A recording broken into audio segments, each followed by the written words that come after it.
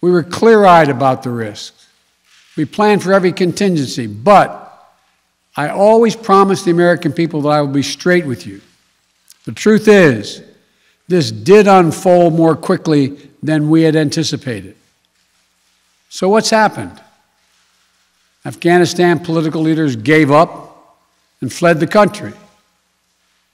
The Afghan military collapsed, sometime without trying to fight. If anything, the developments of the past week reinforced that ending U.S. military involvement in Afghanistan now was the right decision.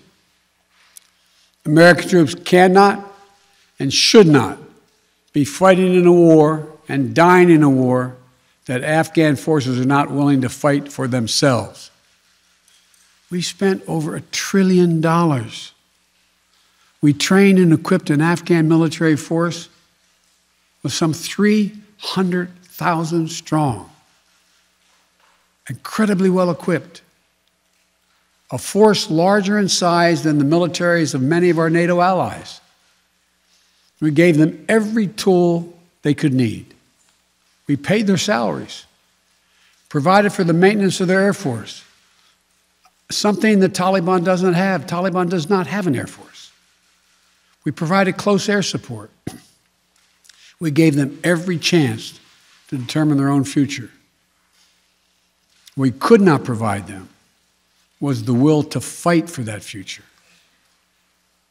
There's some very brave and capable Afghan special forces units and soldiers.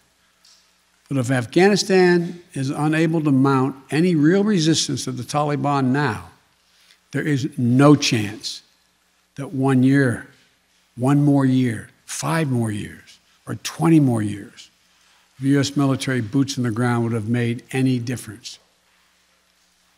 Here's what I believe to my core it is wrong to order American troops to step up when Afghanistan's own armed forces would not. The political leaders of Afghanistan were unable to come together for the good of their people, unable to negotiate for the future of their country when the chips were down.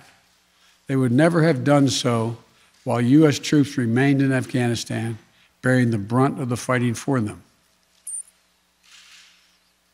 And our true strategic competitors, China and Russia, would love nothing more than the United States to continue to funnel billions of dollars in resources and attention into stabilizing Afghanistan indefinitely.